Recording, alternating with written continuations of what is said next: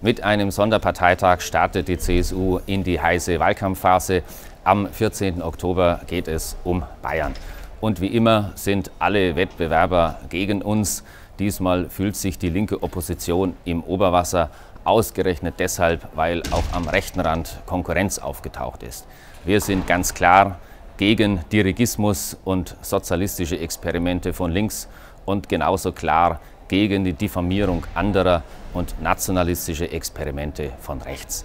Bayern braucht eine starke Mitte, weil wir erfolgreich bleiben wollen in Wissenschaft und Wirtschaft, im sozialen Bereich und mit einer herrlichen Natur.